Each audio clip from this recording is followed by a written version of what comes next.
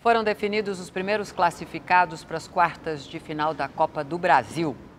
O Bahia venceu São Paulo mais uma vez e tirou o tricolor paulista da competição. E para variar, a crise volta a rondar os lados do Morumbi.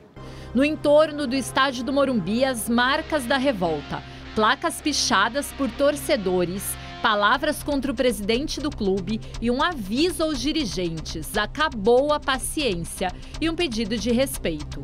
O gol de Hernando do Bahia veio para selar a crise que o clube faz questão de abafar. Eu seria leviano agora dizer que é porque falta isso ou aquilo. A culpa maior é minha. Eu que não estou conseguindo fazer o São Paulo ganhar os jogos e a responsabilidade é minha.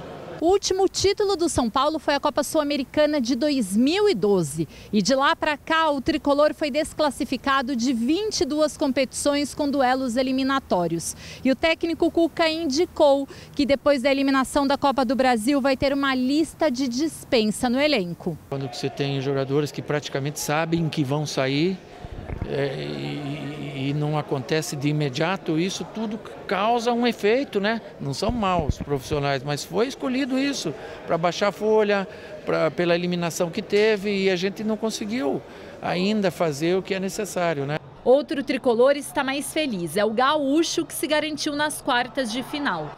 O Grêmio bateu Juventude por 3 a 0. Felipe Viseu duas vezes e Diego Tardelli colocaram o Imortal na próxima fase.